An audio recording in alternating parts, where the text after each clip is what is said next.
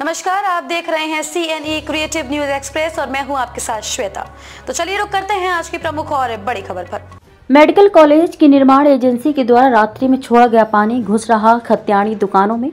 पूर्व दर्जा मंत्री कर्नाटक ने निर्माण एजेंसी की मनमानी पर संबंधित से की वार्ता। कहा, स्थानीय लोगों को निर्माण एजेंसी की लापरवाही से हो रही दिक्कतें नहीं की जाएँगी बर्दाश्त। दुकानों में घुस रहा मेडिकल कॉलेज का पानी।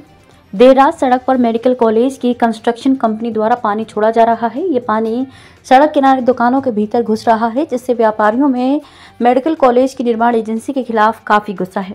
आपको बता दें कि अल्मोड़ा मेडिकल कॉलेज की निर्माण एजेंसी के द्वारा शाम होने के बाद पानी सड़क पर छोड़ दिया जा रहा है, जिससे स्थानीय दुकानदारों और लोगों को काफ़ी दिक्कतों का सामना करना पड़ रहा है।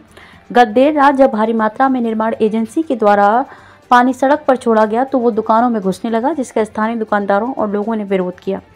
मामले का पूर्व दर्जा मंत्री बिट्टू कर्नाटक ने भी संज्ञान लिया, जिसके बाद तत्काल उक्तकार के साइड इंजीनियर कठोरता से वार्ता कर इस तरह पानी सड़क पर न बहाने को कहा गया। कर्नाटक ने कहा कि वे स्वयं इस संबंध में, पूर्व में भी कार्यदायी संस्था को इस प्रकार से कार्य न करने की हिदायत दे चुके हैं।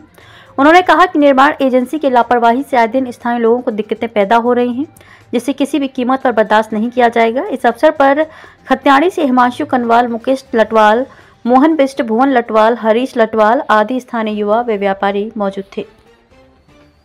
खबरों में अब तक के लिए बस इतना ही। फिर होगी आपसे मुलाकात ऐसी ही किसी बड़ी और खास खबर के साथ। तब तक के लिए नमस्कार और देखते रहिए C N E creative news express